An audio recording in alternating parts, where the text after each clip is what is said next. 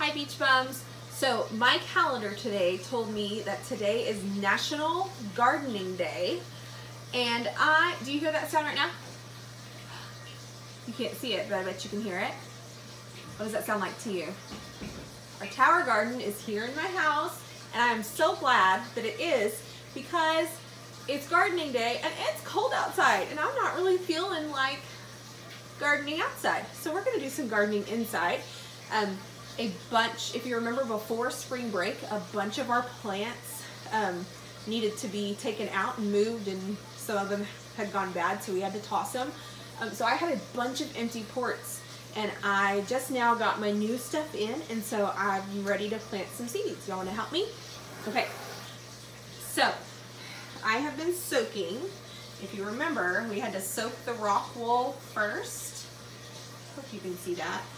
Um, so I took out some of the water from the tower garden tank and I soaked all of our rock wool pieces in the water. And so I'm just gonna take these out and put them in my little blue tub here. That's where I'm gonna hold these guys while they start to hopefully sprout. Okay, almost got them placed. This is a great time of year to do some gardening um, because it's spring. Also, it's a great time kind of in our world to do some gardening because it's kind of hard to find the stuff you need at the store right now. So why not just grow some of your own? So we have some lettuce seeds that we're gonna grow because I know that lettuce grows really well in my tower garden. And then I also have some other seeds that I want to try out.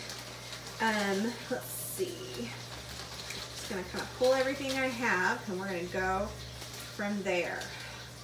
Okay, I have some little baby watermelon seeds that I have heard will grow in the tower garden if you put them on the bottom port and I do have an empty port on the bottom. So I'm gonna put, I'm gonna do a couple of little baby watermelon seeds in here. So um, this is what the seeds look like. I'm gonna open them up here. Whoa! I only want a couple, come on. And I'm gonna pour them all out. I'm just gonna put two in each port. Let's see if you can see how big they are. Okay, not super big. They're for the little, they're called sugar baby watermelon. Okay, and so I'm gonna put two in this one and two in this one. And then do you remember we had to put this stuff on top? The vermicite, I think is what you call it. Just a little pinch here, a little pinch there. Maybe a little more. You really can't see this very well in the tub, can you? You know what? Let's do this. As we do it, I'm gonna take it out of the tub. Let me see if, check the camera, see if you can see that. No, so we're just gonna bring it down and that might mean you might see more of, less of my face, but that's okay. All right, that should do it. Okay, so, uh, so that I don't forget what is where, I'm gonna put the package, well, oh, I left it over there. I'm gonna put the package of the seeds next to thing so I don't forget which ones go with which plant. Okay, so there's our little baby watermelon seeds. Let's also do, hmm, do you think some strawberries might work in a tower garden? Why not? Let's give it a try. Okay, so I'm gonna do a couple of strawberries. I'm just gonna put, let's see, and these guys are teeny, teeny, teeny, okay? Like that's a whole bunch of seeds right there. So I'm just gonna sprinkle a couple little pinches here and let, let you see close up how small the seeds are. See, look like little bird seed, but those are our strawberry seeds. I think I'll do three of those. Okay, so we've got a little pinch in here, Whoop. a little pinch in here, here. And if some fall on the table, that's okay. I'll just clean those up later.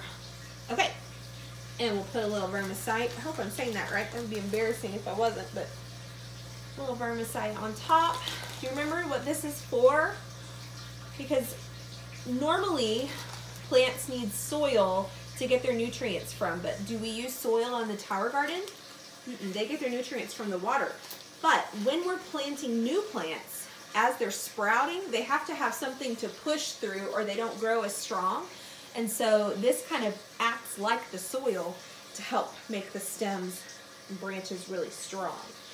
Okay, now mostly what I want to do is lettuce because I know that that works super well in my tower garden. So I'm going to do several lettuces. Okay. I think we'll do some, this arugula was spicy. I didn't actually like that very much. So we're not going to do that spicy arugula. We will do some romaine. And let you see what those seeds look like.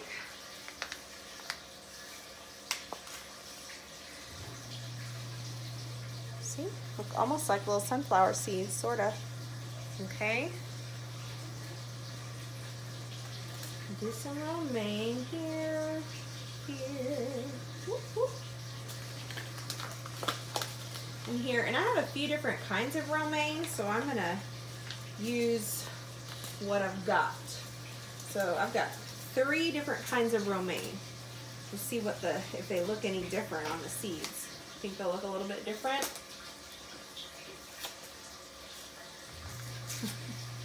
oh, didn't want to open. There we go. Oh, they, this one does look a little different. The ones I was just putting in had some dark and some light. These guys are all light. So there's the romaine seeds for this package. I do three? Yeah, here, here, and here. And then I think I'll do three more romaine because I have this one. This one's called Little Gem romaine. You think it's to be a little bit smaller of a plant? I wonder if the seeds look any different. I think they actually look the same. I don't know that I think they're any smaller. Yeah, there's a bunch of them. Maybe they're a little smaller. Sometimes the size of the seed has to do with the size of the plant, but sometimes that's not necessarily true. Just depends. I think these might be a tiny bit smaller than the other romaine seeds we just did. Okay, so there's all the romaine, and I've got five little rock wools left. So I did not like the spicy arugula. That was not my favorite. Um, here's just some plain lettuce. Let's do that. Two, three of those. And then we'll do something a little more fun for our last one, okay? So this is a lettuce seed. This is called black seeded Simpson lettuce. So what color do you think the seed's gonna be if it's called black seeded Simpson? Yep, they're black.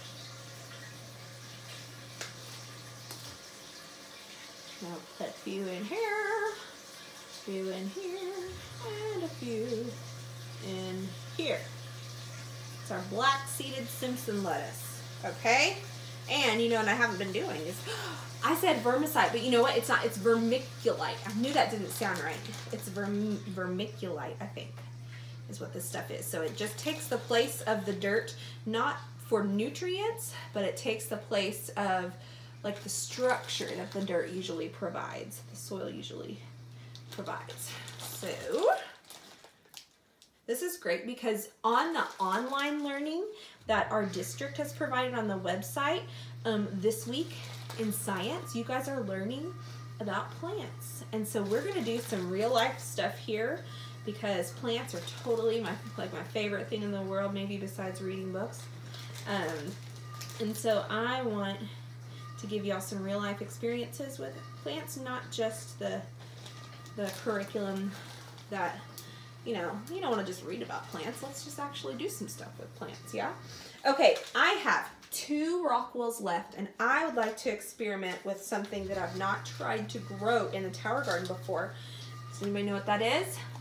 It's cantaloupe, and I've heard that sometimes they do very well if you can get the lighting right. And now, do you think the seeds for the cantaloupe, look at how big the plant is.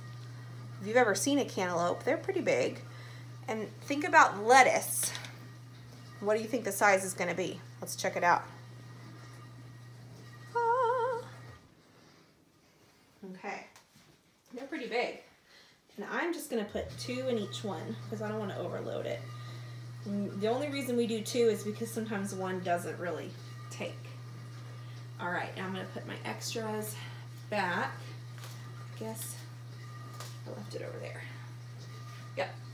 I'll put my extras back so I can save these to plant another day. And I might grow some of these in my outdoor garden. I don't know, we'll see. We shall see. Okay, so I'm gonna put the last of the vermiculite in. And then what I'm gonna do after I turn off the camera is I'm gonna put all of the, these rock wool cubes into um, the little net pots, what we call them. These guys, whoop, remember? And, and I'm just gonna keep them in this blue tub. and I'm gonna put them on top of the tower garden base and let them um, hopefully sprout out. And as soon as I see sprouts, I'm gonna take them from the blue tub and I'm gonna put them into the tower garden ports and we'll just see what we can do. Thanks for gardening with me today. Um, I think, because even though I said it was too cold to garden outside, I do want to show you what's going on in my outdoor garden since we are in National Gardening Day. So I'm gonna, here's our, here's where we got, I haven't eaten on the kale for breakfast. I've been putting it in my omelets. It's pretty yummy. And we've been eating the, the um, lettuce. We've been harvesting that for our salads, but you see we've got a lot of empty ports here, so we're gonna make use of those. I'm gonna throw some shoes on and take you on a little garden tour of what we got going outside. Oh, it's still chilly, but not as bad.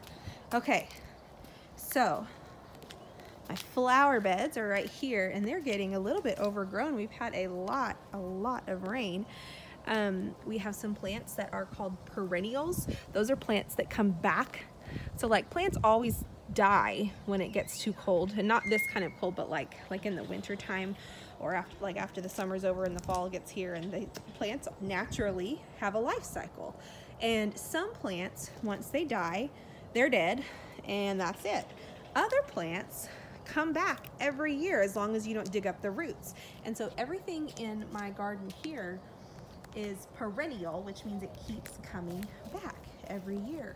It doesn't just last one year, it lasts many years. And so some of these are weeds that I need to take care of, but a lot of these are beautiful plants. In fact, we have some fruit growing here. These guys with the little white flowers are my strawberry plants, and you'll notice we've got some little baby strawberries growing. Here's one that just, oh, where'd it go?